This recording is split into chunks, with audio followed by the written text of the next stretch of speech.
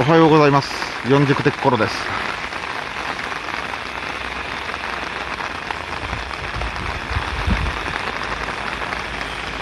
えー、現在は2022年9月19日、えー、8時午前8時55分。えー、国土交通省の関係のパトロールカーもやってきましたね。あそこ鍵がないとね、入れんのんですよね。広島市の職員も来たのかな。えー、これね、この向こうに見えますあの水門ですね。あれが安川、旧安川の水門ということになるんですけど、この、車列群の向こうですね。で、あそこがあの、たまにあの、不調なことになって、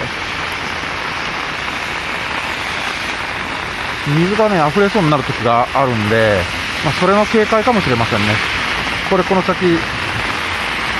パトロールカーが降りていって、あと作業車が、おそらくあの水門のところへ行くものと思います。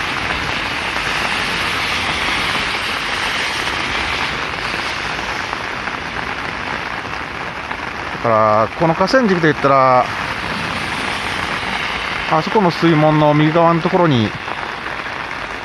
あのポンプ所がですね、新旧ポンプ所があって、まあ、それでポンプ排水をするんですが、前回、去年でしたかね、あのー、ちょっとうまくいかなくて、この、まあ、この辺りの低いところも、ちょっとおいおいみたいなことになりそうになったんですけど、えー、まだ今引いてる時間ですのでね、えー、大田川放水路は、あのー、そんなに水位は高くありません。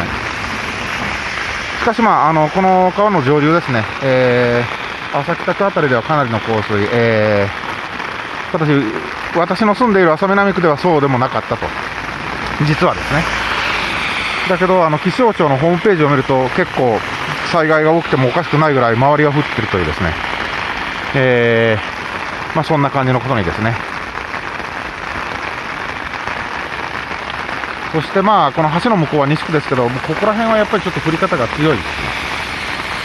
えーあそしてこの先、国土交通省の河川パトロールカーが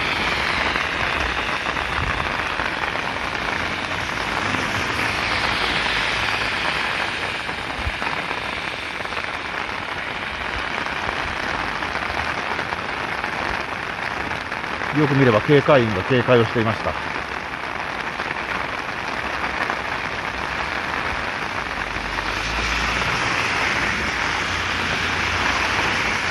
おそらく高瀬関はもう結構放水は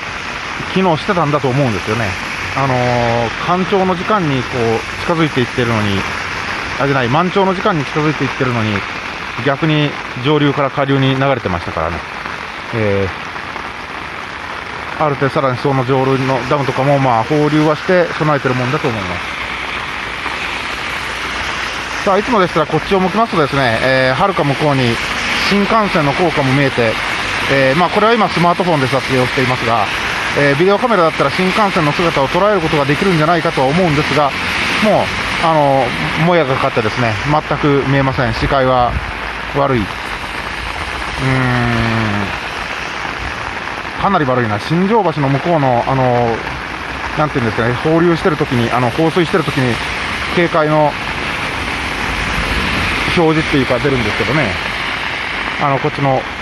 祇園水門みたいにあの増水注意とかって出るんですが、あれがもう、パトライトが光ってるのが見えるだけ、なんとなく見えるだけで、もやってもよく見えません。ということでですね、え、ー、と、大田川放送より今のところ、とりあえず得意動向なしです。えー、この後台風ですね、えー、今どこら辺にいるのかな、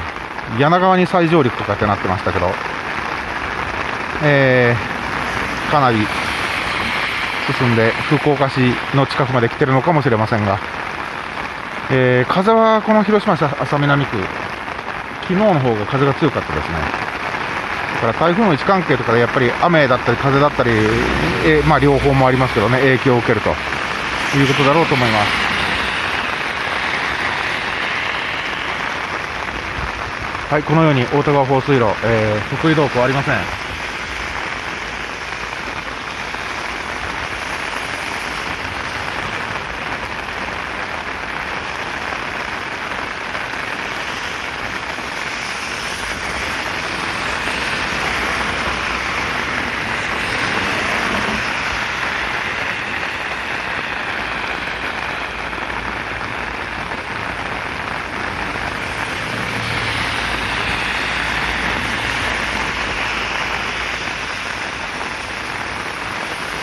はい、ということで、この動画はここまでにしたいと思います。あとは天候次第で、もう今日は来ないと思います、この場所に。いかに言っても危なさそうなんで、あの、か風とかの具合がですよ。はい、ということでですね、えー、この動画はここまでです。えー、本日もご視聴ありがとうございました。